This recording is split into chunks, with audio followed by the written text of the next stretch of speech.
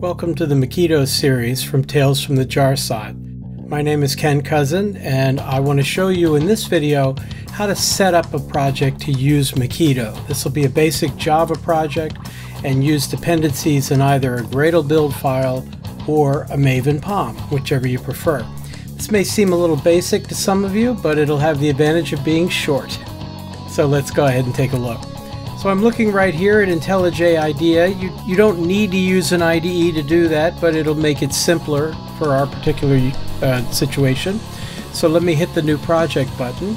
And in the new project button, I'm just selecting new, basically empty project. I'm not really going to put much of anything in it.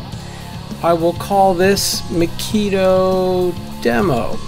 Although I'll give you a link to the final project in the GitHub repository at the end. So I'm going to make this a Java project and I'll start off using Gradle, but then I'll switch and show you a Maven POM as well.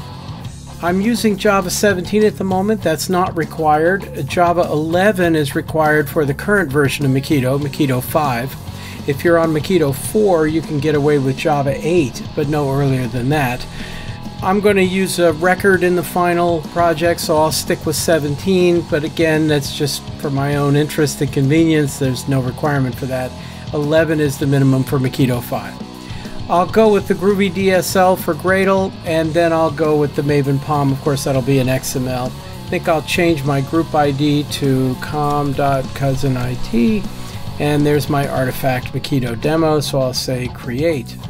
Now, IntelliJ, when it creates a new project, likes to set up a Java project here, which is what I asked for, using JUnit 5. Now, I do think very highly of JUnit 5. I do prefer that. I'm going to update my version here in the build file, but since I'm going to update the version anyway, I think I'll switch. So instead of using the separate API and engine dependencies, let me use the so-called aggregate at test implementations. So just JUnit Jupiter. That lets me get rid of the engine and I could change the version number to the current one, which at the moment is 5.9.2. Let me synchronize the project and everything looks good. Now there's nothing in this project at the moment, but let me go ahead and add my Mockito dependency. So I will say new dependency and I will search for Mockito Core. And here is Mockito Core. Let me switch it to test implementation and then add it.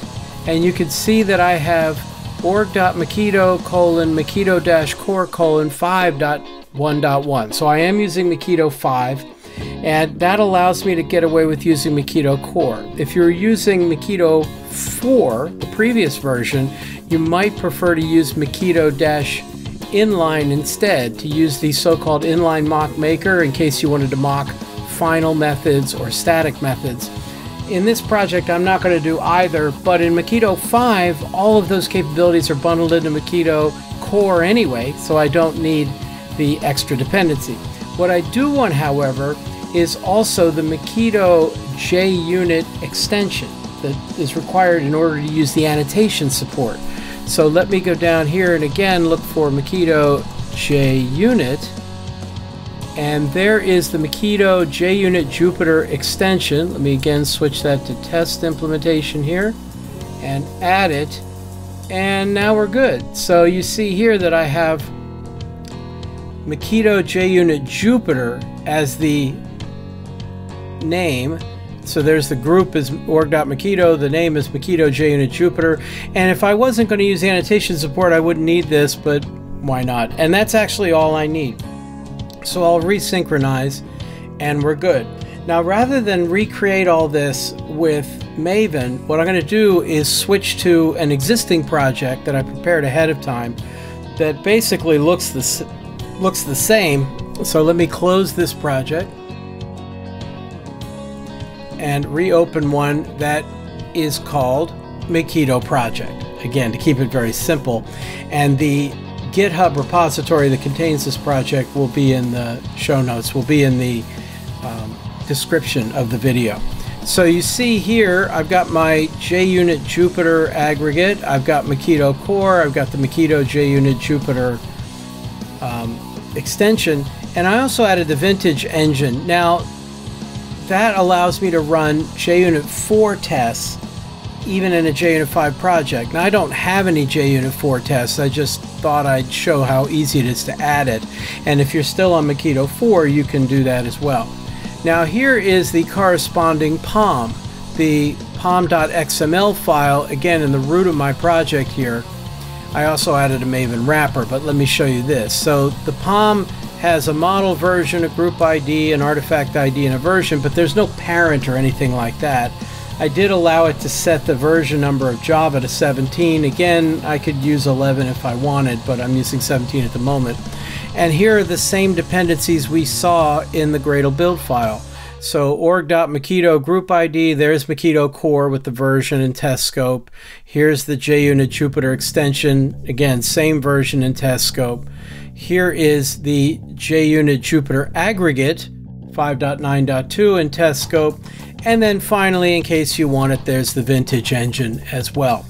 These were not necessary, but it's very common to add in the Surefire plugin to support extra testing and the Maven compiler plugin. So again, none of that was absolutely required, but it does work and in case you wanted to see the Maven approach to it. Now I have several classes in here. I'm going to go through all that in another video. I don't want to take too much time in this one. I'll just point out that I've got a product class that is in fact a record. I have a repository interface that saves or gets the product from the whatever persistence I am storing it under and saves one if necessary. And then this is what I'm going to use Mockito for is to mock the repository. And then I have a service that uses the repository and can save a whole series of products or get a whole series of products and save a whole series of products. And finally, here's my test for all that. Now I've got a fair amount of code here, which is why it needs tests. So let me execute my service test here just to demonstrate that it will in fact let me make a mock of the repository, inject it into the service class, and write tests for products that I know exist products that I know don't exist, save a series of products, and all of those work just fine, as you can see. So everything's good there. The code is in a GitHub repository, which again I'll put a link to in the description. And otherwise, that's pretty much it. So thank you very much for your attention, and I'll see you in the next video. Take care.